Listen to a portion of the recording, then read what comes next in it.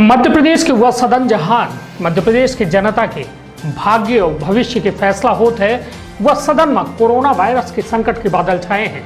वहीं से जुड़ी एक बेहद बड़ी खबर लेके आए हैं। विंध्य क्षेत्र के ये पहल बघेली न्यूज़ चैनल में हम कनिष्ठ तिवारी अपना पंचन का सभी जनन का प्रणाम करी थे तो शुरू करी थी ये पूरी बड़ी खबर जो मैं अपना परिचय को बता दी कि विधानसभा, यानी वह सदन जहाँ मध्य प्रदेश के भाग्य और भविष्य के फैसला की इंजात है शीतकालीन सत्र के आयोजन पर जो है कोरोना वायरस के लक्षण साफ़ साफ़ दिखा लागे।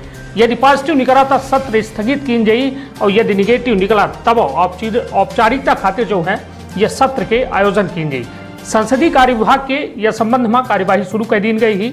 संसदीय कार्य विभाग का सत्र का लय के जो है फ़ाइल संसदीय कार्य मंत्री के पास भेजी गई ही। सत्र कब हुई, कितने दिन का हुई, अब न हुई या आगे हुई या तय करे खातिर फ़ाइल भेजी गई। इनमें कहा गया है कि आगामी सत्र में नए चुने गए विधायकन का शपथ दिवाई जी, और अध्यक्ष उपाध्यक्ष के चुनाव करवावे है। सत्र और आखिरी तारीख के सत्र और तारीख के संबंध में अंतिम फैसला जो है मुख्यमंत्री शिवराज सिंह चौहान ले ही, और सूत्रन के मुताबिक 21 से 24 दिसंबर तक चार दिवसीय सत्र जो है बुलावा जा सकत है। कोरोना की स्थिति का देखत की जो है संसद का जो है शीतकालीन सत्र स्थगित कर दिन का है। मध्य प्रदेश मध्य प्रदेश जो है विधानसभा के आगामी सत्र का लेकर यह संशय है काहे कि कोरोना के कारण पिछला सत्र एक दिन के रहा। यही से पहले एक सत्र का कोरोना की वजह से निरस्त कर दिन का रहा। अभी जो है रामेश्वर शर्मा प्रोटेम स्पीकर हैं।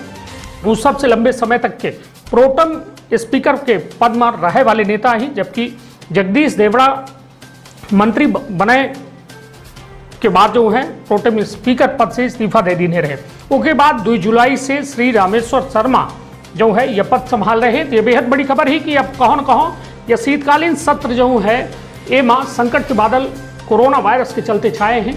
अब एक एक हित जो है कहो न कहो जो नए विधायक आए हैं, उनका शपथ दिवावे के पूरा कार्यक्रम है। और ओहिन से जुड़ा कार्यक्रम अध्यक्ष उपाध्यक्ष के चुनाव है। जोने खातिर यह सत्र बेहद ज़रूरी है, किंतु अब यह पूरा फैसला शिवराज सिंह चौहान के हाथ में है और यह माना जा रहा है कि 21 से 24 के बीच में चार दिवसीय सत्र चलाए के जो है, या शपथ ग्रहण और अध्यक्ष उपाध्यक्ष के चुनाव संभावित, प्रस्तावित हो सकते थे तो अपन बहुत ख्याल रखब और हर छोट बड़ी खबर की बने रही।